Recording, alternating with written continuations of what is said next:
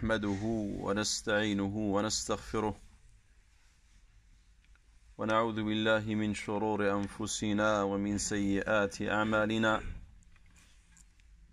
من يهده الله فلا مضل له ومن يضلل فلا هادي له. وأشهد أن لا إله إلا الله وحده لا شريك له. وأشهد أن محمدا عبده ورسوله.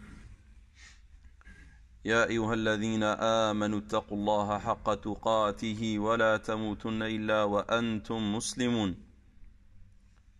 يا أيها الناس اتقوا ربكم الذي خلقكم من نفس واحدة وخلق منها زوجها وبث منهما رجالا كثيرا ونساء واتقوا الله الذي تساءلون به والأرحام. إن الله كان عليكم رقيبا.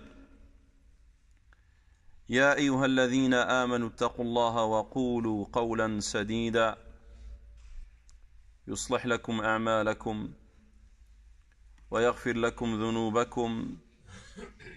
ومن يطع الله ورسوله فقد فاز فوزا عظيما. أما بعد فإن أصدق الحديث كلام الله تعالى وخير الهدي هدي محمد صلى الله عليه وسلم وشر الأمور محدثاتها وكل محدثة بدعة وكل بدعة ضلالة وكل ضلالة في النار. أجارني الله وإياكم من النار. ثم أما بعد إخوة الإسلام والإيمان.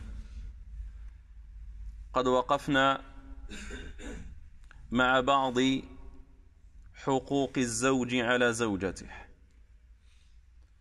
ولا شك إخوة الإسلام والإيمان أن المقصد والهدف من التطرق والوقوف والتفصيل وبيان هذه الحقوق إنما هو إصلاح لهذه الأسر. لأن الأسرة إخوة الإسلام والإيمان هي اللبنة الأولى في إصلاح هذا المجتمع الذي نعيش فيه. فبإصلاح الأسر يصلح هذا المجتمع بل وتصلح الأمة بأسرها إخوة الإسلام والإيمان. فسوف نقف اليوم كذلك مع حق من حقوق الزوج أو مع بعض الحقوق إن تيسر الأمر إن شاء الله تعالى.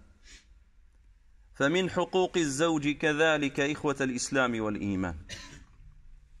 أن تحفظ الزوجة غيبته في نفسها وماله. من حقوق الزوج على زوجته أن تحفظ غيبته في نفسها وماله. بمعنى يجب على المرأة إخوة الإسلام والإيمان.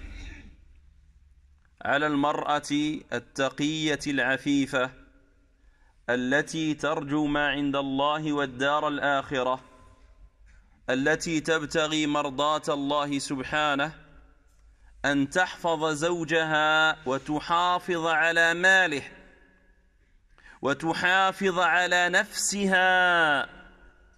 ولا تفرط في في عرض زوجها وشرفه وماله. قال الله تبارك وتعالى فالصالحات قانتات حافظات للغيب بما حفظ الله. وهذه الآية قد ذكرناها مرارا. ووقفنا كذلك مع قوله تعالى قانتات.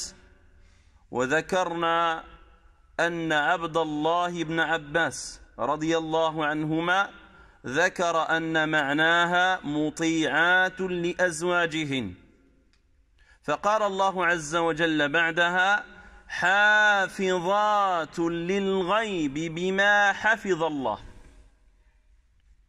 قال الإمام الطبري رحمه الله تعالى في تفسير هذه الآية أي حافظات لأنفسهن في غيبة أزواجهن عنهن. أعيد. قال رحمه الله معنى حافظات للغيب بما حفظ الله أي حافظات لأنفسهن تحفظ المرأة نفسها أي عرض زوجها. متى؟ إذا في غيبة أزواجهن عنهن. في ماذا؟ في فروجهن وأموالهن. أعيد. قال رحمه الله حافظات لأنفسهن في غيبة أزواجهن عنهن في فروجهن وأموالهن. فالزوج إخوة الإسلام والإيمان لا يمكن وهذا من المحال أن يبقى في بيته يراقب زوجته ويراقب عرضه وشرفه فيغيب الزوج عن البيت لهذه المصالح الدنيوية. مصلحة الاكتساب. لأن من حقوق الزوجة عليه أن ينفق عليها وعلى عياله. فإذا غاب هذا الزوج عن بيته من صفات الصالحات القانتات العافف العفيفات أن تحفظ زوج زوجها في غيبته عن بيته وعن زوجه. ولذلك إخوة الإسلام والإيمان ما نراه اليوم من ضياع الأخلاق وانتشار هذه المساوئ والعياذ بالله.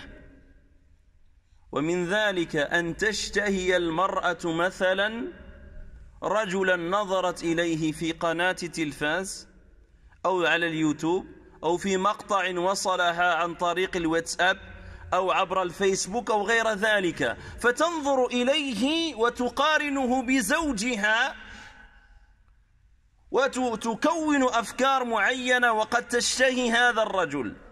أحفظت هذه المرأة التي تفعل هذا عرض زوجها؟ لا إخوة الإسلام والإيمان. قد تتحدث المرأة مثلا في مدرسة أبنائها مع مدرس مع مدير وتسترسل في الكلام مثلا وتضحك معه وقد تتحدث معه في أمور شخصية لا داعي لذكرها ولا طائل وراء سردها. أتحفظ هذه المرأة عرض زوجها وشرفه إخوة الإسلام والإيمان؟ المرأة التي تعلم أن زوجها لا يأتي إلى البيت إلا في السادسة مساء أو في السابعة مساء ومع ذلك تخرج مثلا لأغراضها دون ارتضاء الحجاب الشرعي لأنها تعلم أن الزوج غائب. أتحفظ هذه الزوجة عرض وشرف زوجها؟ لا إخوة الإسلام والإيمان. ولذلك جاء في حديث رسول الله صلى الله عليه وسلم في صحيح الجامع من حديث عبد الله بن سلام رضي الله عنه قال قيل لرسول الله صلى الله عليه وسلم أو سئل النبي صلى الله عليه وسلم أي النساء خير؟ أي النساء خير؟ أو ما خير النساء؟ قال النبي صلى الله عليه وسلم أه التي تسرك إذا أبصرت وتطيعك إذا أمرت وتحفظ غيبتك في نفسها ومالك. وتحفظ غيبتك في نفسها ومالك. يقول النبي صلى الله عليه وسلم خير النساء. هذه النسوة هي التي نبحث عنهن. التي ينبغي أن تتأسى بها المرأة المسلمة التي تسرك إذا نظرت أو إذا أبصرت وتطيعك إذا أمرت إذا أمرتها بطاعة الله أو بأمر مباح. ليس بمعصية. وأن تحفظك في غيبتك في نفسها ومالك. هذه من صفات المرأة الصالحة. بل جاء في حديث أبي هريرة رضي الله عنه. قال قيل لرسول الله صلى الله عليه وسلم أي النساء خير؟ فقال النبي صلى الله عليه وسلم التي تسره إذا نظر وتطيعه إذا أمر. ولا تخالفه في نفسها وماله بما يكره. ولا تخالفه في نفسها وماله بما يكره. أيكره الرجل أن يتعرض أحد الفجار أو الساق أو المجرمين لعرضه؟ لماذا أمر الله عز وجل المرأة أن تتحجب إذا خرجت من بيتها. لأن جمال المرأة هو من حق من حق الزوج إخوة الإسلام والإيمان. ولا يجوز لإنسان أن يطلع على هذا الجمال إلا الزوج والمحارم. أما غيره من من الأجانب لا يجوز له أن يطلع على شيء من جمالها. ولذلك إخوة الإسلام والإيمان لا بد أن تتأسى النساء بزوجات النبي صلى الله عليه وسلم. وزوجات الصحابة رضوان الله عليهم والصالحات ممن ذكرنا في كتب العلماء إخوة الإسلام والإيمان. ولا تتأسى المرأة بفساق القوم أو الفاسقات أو العاهرات أو الراقصات أو الممثلات. وغير ذلك والعياذ بالله من النساء التي لا ينبغي للمرأة المسلمة العاقلة التي ترجو ما عند الله والدار الآخرة أن تحذو حذوهن أن تسير مسارهن وطريقهن إخوة الإسلام والإيمان. وكذلك مما يدخل في هذا الحفظ كما ذكرنا أن تحفظ المرأة مال زوجها. ولذلك قال النبي صلى الله عليه وسلم لا تنفق المرأة من مال زوجها إلا بإذن زوجها. يقول النبي صلى الله عليه وسلم لا تنفق المرأة من مال زوجها إلا بإذن زوجها. قيل يا رسول الله أرأيت الطعام؟ قيل النبي صلى الله عليه وسلم أن يدخل في المال كذلك كذلك الطعام؟ قال النبي صلى الله عليه وسلم الطعام من أفضل أموالنا. الطعام أف من أفضل أموالنا. حتى الطعام أمر النبي صلى الله عليه وسلم الزوجة أن تستأذن من زوجها. وهنا بيان إخوة الإسلام والإيمان. هذا لا يعني أن تستأذن المرأة في كل صغيرة وكبيرة وإنما تتفق الزوجة مع زوجها مع أمر عام على أمر عام مثلا. فلا ينبغي أن يبالغ ويتنطع الزوج في هذه المسألة مثلا فإن احتاجت المرأة مثلا لشراء خبز أو خضر أو فواكه أو حليب تتصل بزوجها أريد أن يشتري كذا وأشتري كذا. لا وإنما المقصود أن يأذن لها إذنا عاما تعلم موافقته على ذلك. تعلم موافقته على ذلك إخوة الإسلام والإيمان. وهنا وقفة. هناك من النساء من تبالغ في المشتريات تشتري حتى الحوايج اللي ما تحتاجهمش. تبالغ في المشتريات. أحفظت هذه المرأة مال زوجها؟ تشتري حتى الأغراض اللي ممكن يضيعوا يفسدوا. وبعد ذلك ترمي بهذه الأشياء في سلة الزبالة والعياذ بالله. ولم يستفد بتلك الأشياء أحد. أليس هذا ضياع للمال؟ ألم يقل النبي صلى الله عليه وسلم لن تزول قدم عبد يوم القيامة حتى يسأل عن أربع وعن ماله من أين اكتسبه وفيما أنفقه؟ وفيما أنفقه؟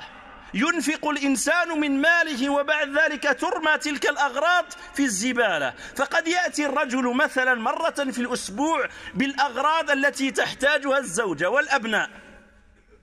وبعد ذلك يسمع من الزوجة بعد يومين مثلا انتهت هذه الأغراض. فيتعجب الرجل. اشتريتها قبل يومين انتهت. حتى يتفادى الرجل مثلا بعض المشاكل. وبعض النزاعات يشتري تلك الأغراض مرة أخرى. وتسترسل المرأة مثلا في نعم هذا التهاون, التهاون والعياذ بالله. ولذلك ينبغي أن تتقي الزوجة الله عز وجل. لأن هذا المال لم يجده الرجل مثلا على قارعة الطريق. لم يتصدق به أحد على زوجها. وإنما كد واجتهد وعمل هذا الرجل حتى يكتسب هذا المال الحلال حتى يقوم بهذا الواجب حتى ينفق على زوجه وعياله. فتبالغ المرأة في الإسراف والتبذير والعياذ بالله. وقد تنافس الزوجة غيرها من النساء سواء جارتها أو صديقتها أو أختها أو خالتها أو زميلتها. أو ما تجده. نعم على الشبكات العنكبوتية مثلا وتحاول أن تقارن نفسها بهم. لا بهن. لا إخوة الإسلام والإيمان. المرأة التقية العفيفة لا ينبغي أن يكون هذا حالها.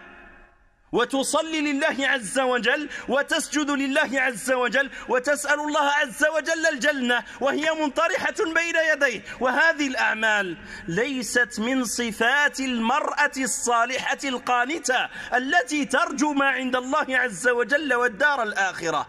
ولذلك أيها أيتها الزوجة, الزوجة الكريمة اتق الله عز وجل واعلمي أنك مسؤولة عن هذه الأموال. فلا يبالغ الإنسان في هذا الأمر إخوة الإسلام والإيمان. والتوسط هو, هو الأصل نعم. لا بد أن يكون الإنسان متوسطا. لا يبالغ ولا يكون بخيلا والعياذ بالله. لأن البخل والشح ليس من دين الله في شيء. ولذلك كما ذكرنا من حقوق الزوجة على زوجها أن ينفق عليها. وألا يضيع زوجه وأبناءه دون نفقة. دون طعام دون شراب دون, دون كسوة. وهكذا. كذلك من الحقوق إخوة الإسلام والإيمان. أن تتزين الزوجة لزوجها من حقوق الزوج على زوجته أن تتزين له. ذكرنا حديث النبي صلى الله عليه وسلم. خير النساء التي إذا تسرك إذا أبصرت. التي تسره إذا نظر. كما قال النبي صلى الله عليه وسلم. هذه المرأة التي تسرك إذا نظرت إليها لا بد أن تتزين لك. وهنا مسألة إخوة الإسلام والإيمان. وأغلب النسوة يقعن في هذه المخالفة. إذا دعيت المرأة إلى نكاح إلى زواج مثلا إلى عرس أو عقيقة أو وليمة سواء كانت وليمة أو عقيقة أخواتها أو صديقاتها أو عماتها أو خالاتها أو صديقة بعيدة. تستعد لهذا الحفل من أشهر أو أسابيع. وقد تشتري فستانا جديدا.